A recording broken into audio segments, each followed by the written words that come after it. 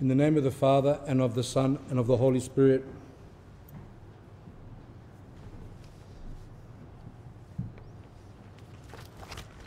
One of the Gospels that we heard today, there was a section where it says that, and another of his disciples said unto him, Lord, let me first go and bury my father. And Jesus said unto him, Follow me, and let the dead bury their dead. And when he had entered into a boat, his disciples followed him. What does it mean where Christ says, Let the dead bury the dead? So, how can, a, how can people that are dead bury a dead person? But when we read the interpretations of the Holy Fathers and not try to interpret things ourselves, we will understand that when Christ said, Let the dead bury the dead, what he means by that is, Let those who are spiritually dead.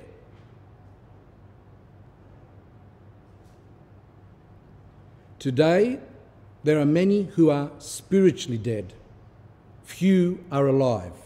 So, even though, as the Holy Fathers say, that you can see a person walking, talking, eating, sleeping, celebrating, working, etc., they are spiritually dead if they are not in communion with God. Why would someone choose to be spiritually dead? Now, of course, there are some who are ignorant that they are spiritually dead, and there are others who willfully are spiritually dead.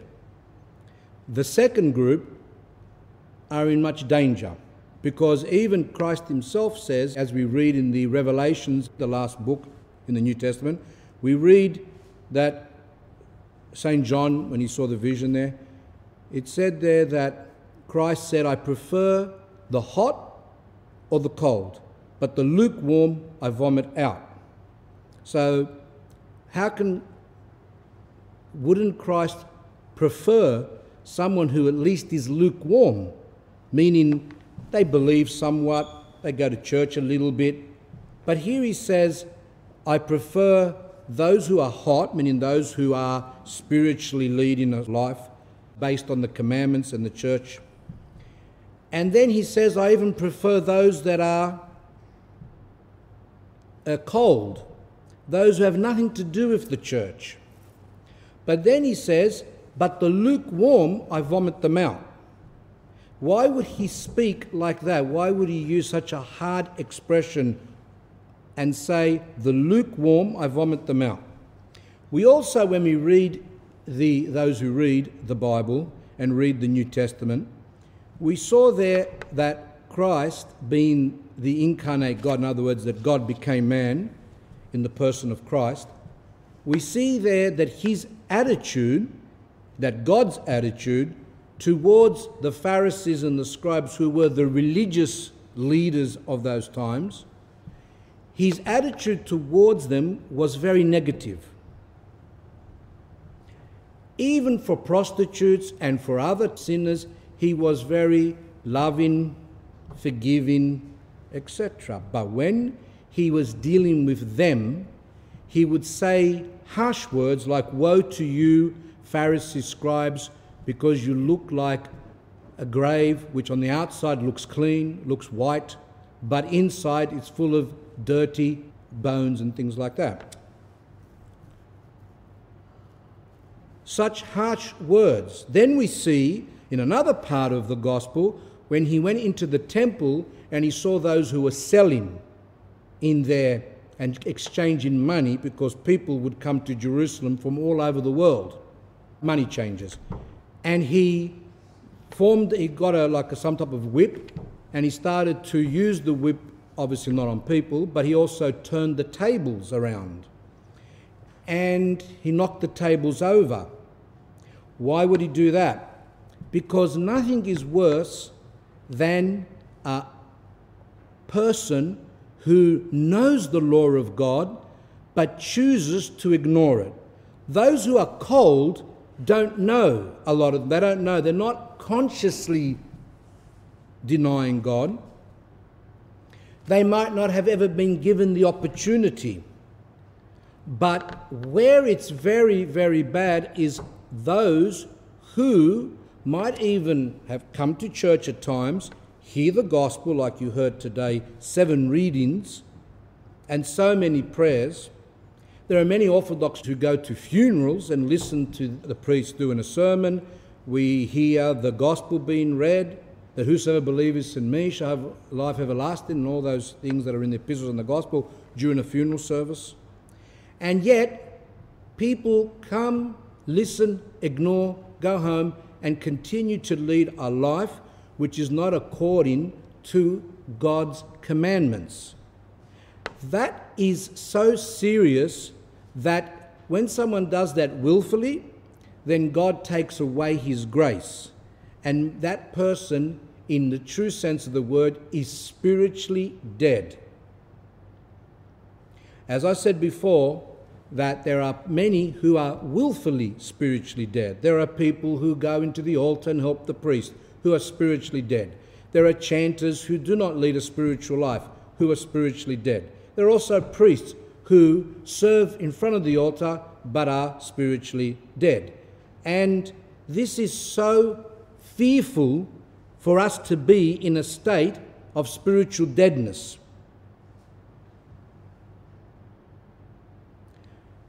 At the last judgment, whether someone wants to say there is one or not, there will be. And at the last judgment, we will give word. The first group to give word are those who know God's law and ignored it. Those of us who know God's commandments and ignore it.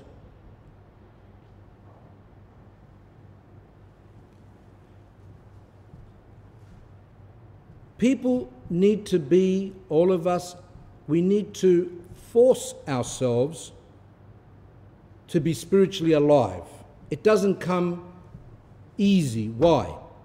Because the world is so powerful with its distractions, and the devil makes sure that people are absorbed in worldly things. His job is to make people to not come near the church, or if they come to church, as I said before, that they be dead. That's his job. And today, more than ever, the distractions that Orthodox Christians are confronted with are great. We have the television, we have the internet, we have all types of media there, a lot of books and things, but also we have a lot of entertainment places. And all these places, a lot of them, obviously, there's some that have use, but in general, the purpose of them is to keep us away from God. Now, some people might say, I find it hard to believe that there's this fight between uh, between like God and the devil competing who's going to get that soul. God, with his mother, with the angels and the saints, are all there trying to bring souls to the kingdom of heaven, while the devil and his demons are trying to bring souls into hell even though he himself is going to go to hell and he knows he's going to go to hell, but because he's blind, he, he doesn't really think about that as much. All he's interested in in his madness is to take as many souls as possible there. He rejoices, he, that's his pleasure. Because he hates God so much, and he knows that God is saddened when people are lost, he wants to as he believes to inflict pain. But God, of course, is passionless, but he still grieves over those who are lost or have been lost. So, as I said before, because of all those distractions, because of the evil spirits, because of all those things, people are distracted to the utmost. And people have to make an effort To do sins is easy. To go out and celebrate is easy. To watch television is not even any effort at all. It's just so easy because most people are brainwashed now. To sit in front of the internet, people can sit for hours. They even had on the on the some news or somewhere there that they said that young children that are on computers continually now on those iPads because they've got their heads down, that actually their backs are similar to the hunchback of Notre Dame. In other words, they've got a permanent hunch. They're, they're like old people because they're, they're always texting, things like that, or playing with those computers. So that's easy. But Christ says himself that to attain the kingdom of heaven, the road is narrow and difficult, while the road which goes to hell is wide and easy. So Christ says that right through the gospel. Why? And, the, and all the saints speak about that. Because there must be an effort. Now, some can say, why should there be an effort? Why doesn't God make it easy? Because we have to prove that we want the kingdom of heaven. Because what happens is, if we don't want it, if we don't desire it, even when someone dies, but they've never wanted it, even if God takes that person and puts him into heaven, that person will be still tormented that is in heaven. Because he's never wanted. God created the angels with free will, and he created Adam and Eve with free will. And that free will is very important. If we haven't got free will, then we're robots, zombies, if, not that they exist, but just so you can get an understanding.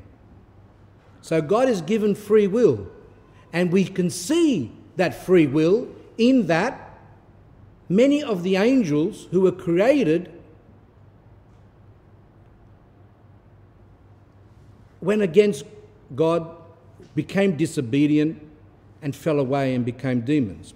We also see free will in paradise where Adam and Eve, of their own choice, disobeyed God's commandment.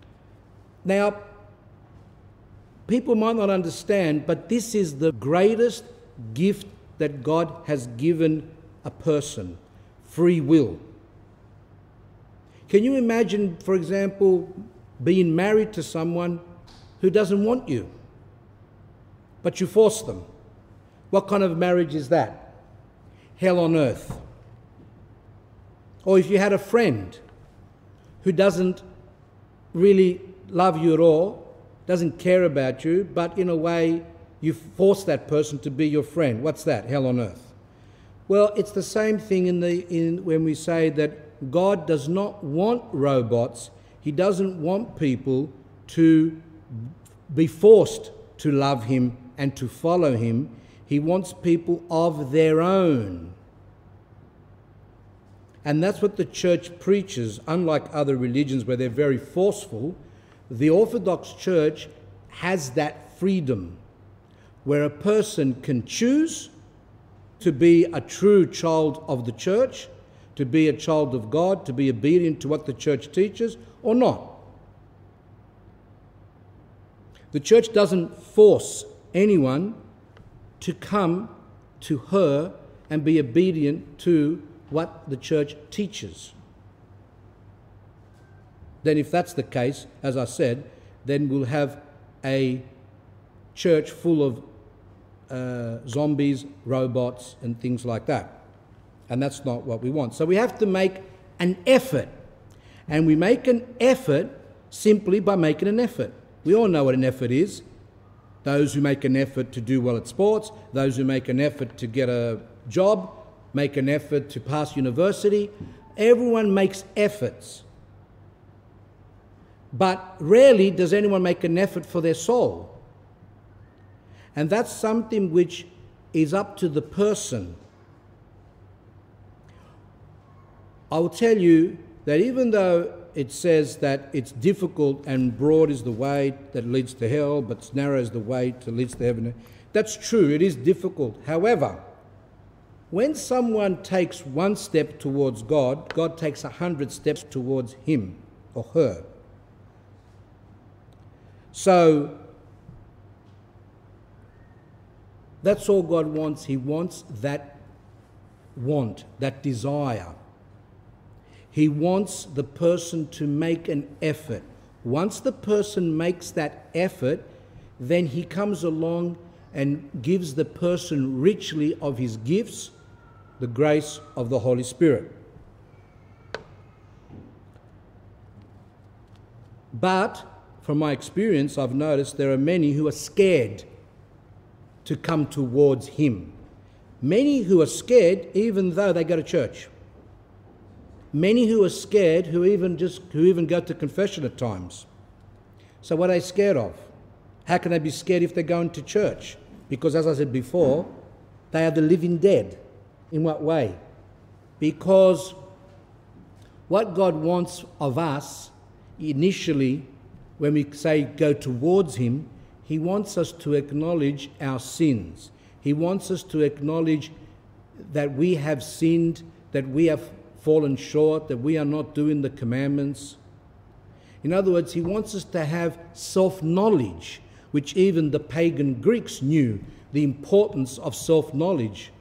The pagans who didn't even know the true God.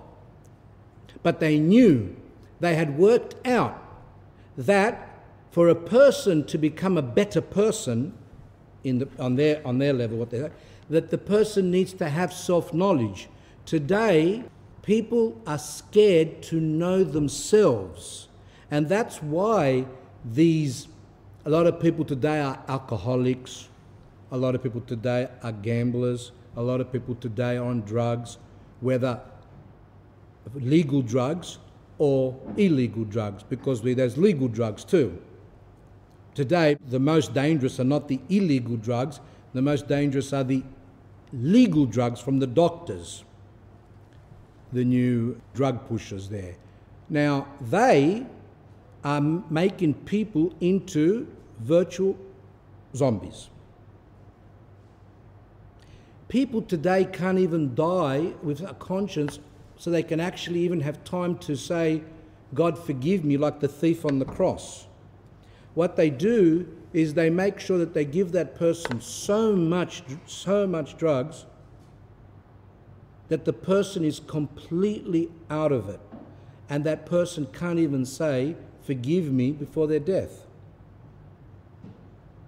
So, alcohol, drugs, distractions, careers, television, internet, a lot of those things are very effective in making a person numb, unfeeling. And what's the purpose? So the person doesn't see themselves. People are running away from themselves.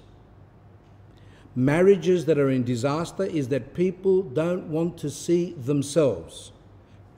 Problems in the church are because people don't want to see themselves. Because it's painful for one to see themselves. For all of us, it's painful. And as I said in the talks that we do here, that in the 60s there was this new thing about psychotherapy where people would go to a psychiatrist and open up their past, their childhood, and things like that. They've stopped a lot of that now. They, they noticed that a lot of people were committing suicide and we're becoming worse. Why? Because the psychiatrists were helping people to see themselves, and what people were seeing was so painful, whether it was bad experiences from when they were young, or whether it's whatever, whatever's in them. There could be a lot of reasons why people are like that. Whatever, the point is, that people found it so difficult that a lot of them committed suicide. A lot of them became worse and became schizophrenic and things like that, permanently ill. So now they just give pills and make people numb. But the point there is what does Elder Porphyrios say, who's now canonized as a saint a few weeks ago in Greece, Saint, saint Porphyrios? that he says that this is dangerous when someone opens up a soul without the grace of God. The psychiatrists do not possess the grace of God. That is given to the church through the priests. When a person begins to discover themselves with the grace of God, then the pain is not anywhere near what happens without the grace of God, and also healing takes place. What's the point in opening up our wounds to someone if they can't heal us? And being zonked on drugs continually is not healing. Even though some people are quite serious and they need some help. We need to examine ourselves, look at ourselves with God's grace. The married people should look at themselves. Why do they treat their wives in a certain way? Why do wives don't treat their husbands in a certain way? Why are people treating their children in a not inappropriate way?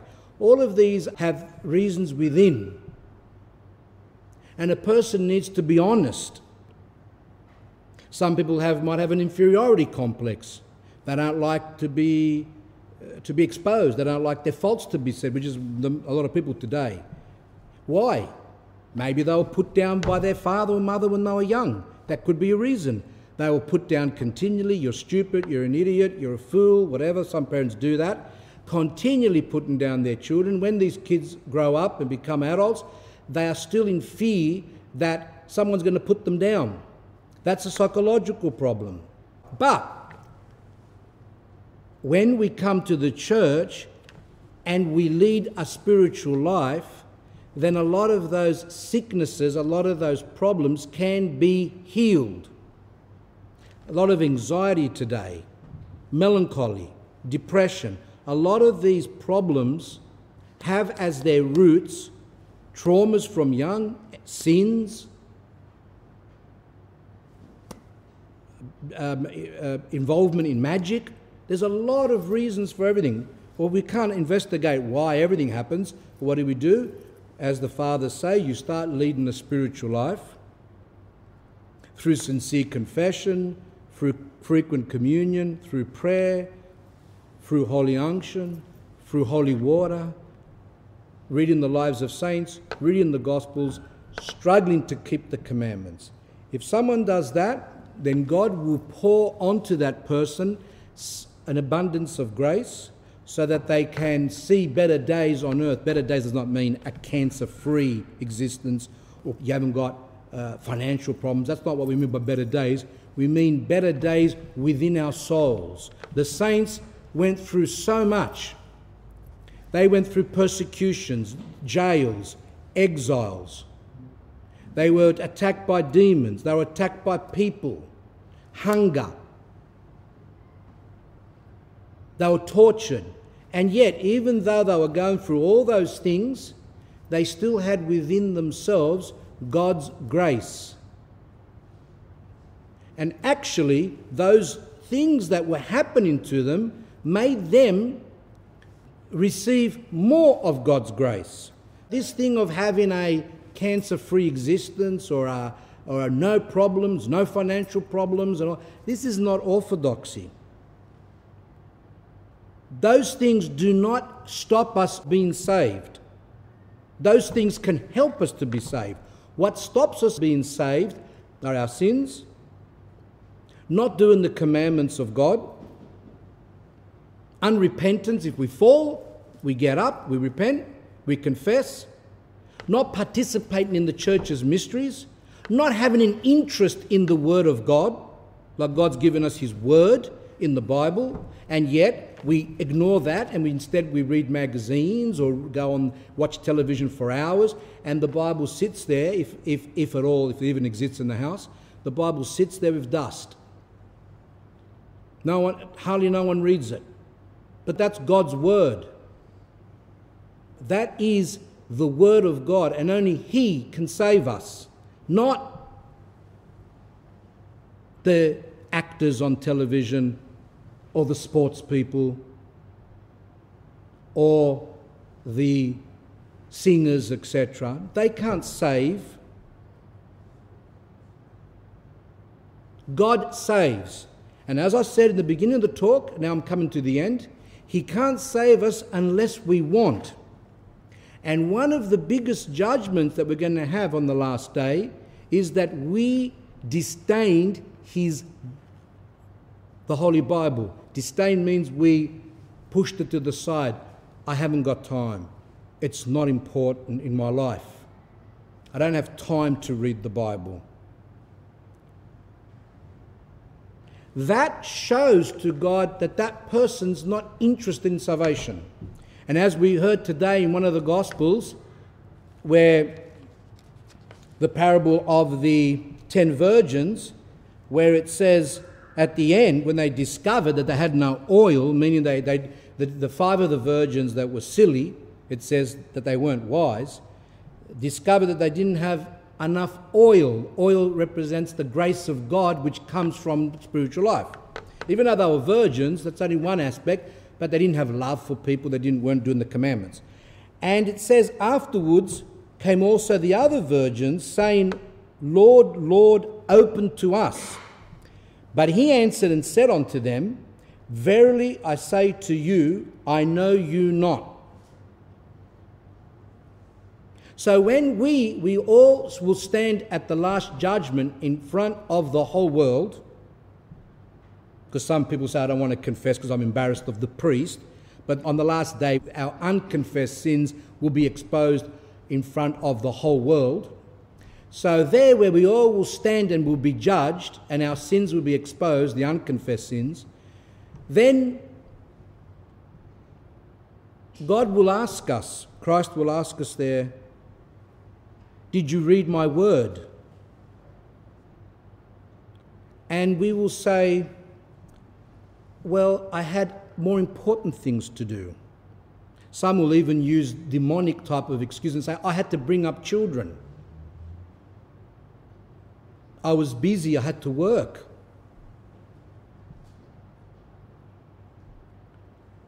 And then God will say, But did you have a Facebook?